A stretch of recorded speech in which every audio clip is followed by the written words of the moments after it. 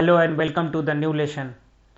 हाल ही में यूएस और चाइना के साइंटिस्ट ने अपने रिसर्च में ये पब्लिश किया है कि चाइना के पिग्स में जी फोर फ्लू वायरस जो है, वो काफ़ी ज़्यादा फैल चुका है। और ये जो फ्लू है, इसमें एक पेंडेमिक पोटेंशियल है। मतलब कि ये एक पेंडेमिक का रूप ले सकता है।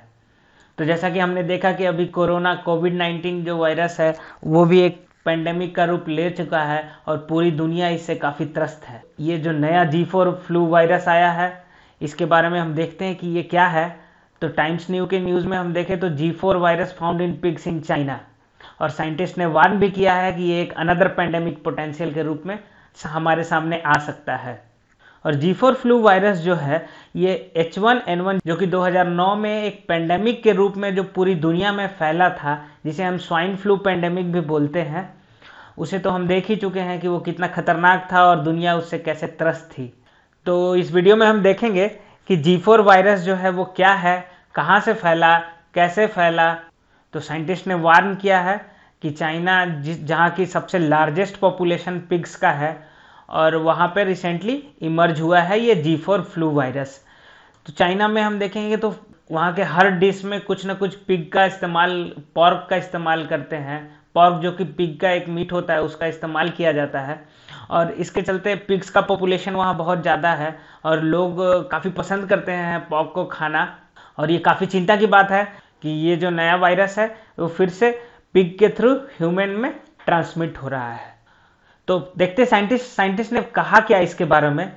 तो साइंटिस्ट ने बोला कि 2011 से 18 के बीच जो रिसर्च हुई है, क्योंकि जो स्वाइन फ्लू का पेंडेमिक था, वो 2009 में आया था। और उसके बाद एच वन एन वन पे काफ़ी रिसर्च किया गया।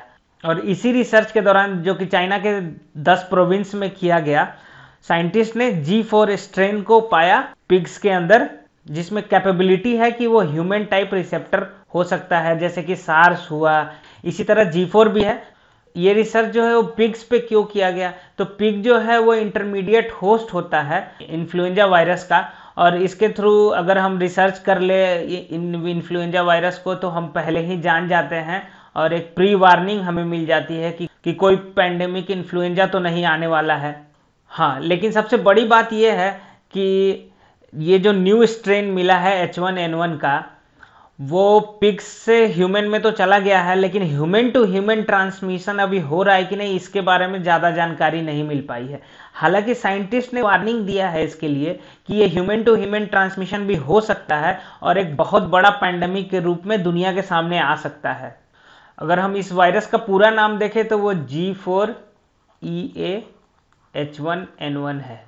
ये एच वन एन वन का एक डिसेंडेंट है मतलब कि G four Eurasian avian H one N one virus scientist ने ये सजेशन दिया है कि हमें क्लोजली मॉनिटर करना चाहिए ह्यूमन पॉपुलेशन को और खास करके पिग्स के इंडस्ट्री में काम कर रहे हैं, उन इंसानों पे मॉनिटरिंग जो है वो ज़्यादा होनी चाहिए। 2009 के स्वाइन फ्लू पेंडेमिक में हमने क्या देखा कि 2009 में H one N one influenza virus जो था, उसे डब्ल्यू एच ओ ने पेंडेमिक घोषित कर दिया था। और इसमें लगभग तीन से चार लाख लोगों की मौत हो गई थी। CDC centre for disease control के अनुसार, और ये काफ़ी खतरनाक वायरस के रूप में पूरे दुनिया में इमर्ज हुआ था। और सीडीसी के अनुसार हम देखें तो स्वाइन फ्लू को उसने डिफाइन किया है कि ये रेस्पिरेटरी डिज़ीज़ है, जो कि पिग में होता है।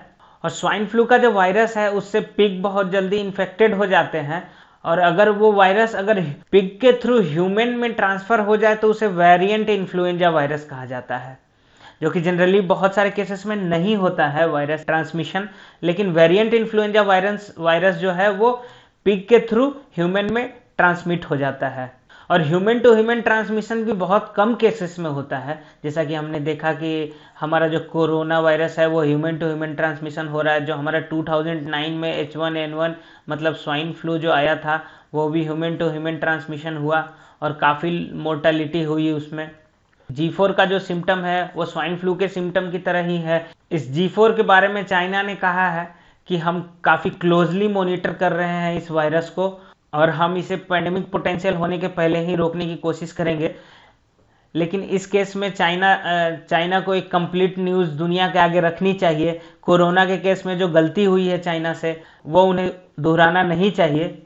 अगर जी फोर जो है, अगर इसमें पोटेंशियल है ह्यूमन टू ह्यूमन ट्रांसमिशन का तो उसे भी तुरंत दुनिया को बता देनी चाहिए, इसमें देरी नहीं करनी चाहिए, क्योंकि कोरोना के केस में देर करने का नतीजा क्या हुआ है, वो सब हम देख ही रहे हैं। और चाइनीज़ गवर्नमेंट को जितने भी पिग इन्फेक्टेड हुए हैं, या जो लोग भी इस पिग इंडस्ट्री में काम कर रहे हैं और वो इन्फेक्टेड हुए हैं, उन लोगों को क्लोजली मॉनिटर करके उनका ट्रीटमेंट करना चाहिए और इन पिग्स को मारना चाहिए। इससे हालाँकि इससे इंडस्ट्री पे काफ़ी नुकसान होगा, इसलिए चाइनीज़ गवर्नमेंट को को इकोनॉमिकली सपोर्ट करना चाहिए इस इंडस्ट्री को।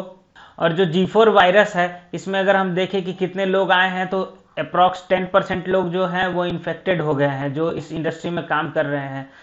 हालाँकि एग्जैक्ट नंबर चाइना ने नहीं बताया है कि कितने लोग इस जी फोर वायरस से इन्फेक्ट हुए हैं। इसीलिए पूरी दुनिया को इस जी फोर वायरस को क्लोजली मॉनिटर करना चाहिए, और ख़ास करके चाइना को क्लोजली मॉनिटर करने के साथ साथ दुनिया को सही खबर देनी पड़ेगी ताकि ये जी फोर जो है, ये एक पेंडेमिक के रूप में हमारे सामने ना आए। तो इसी के साथ ये वीडियो समाप्त होता है। अगर ये वीडियो आपको पसंद आया हो तो इसे लाइक करें, हमारे चैनल को सब्सक्राइब करें और इसे ज़्यादा से ज़्यादा शेयर करना ना भूलें। धन्यवाद।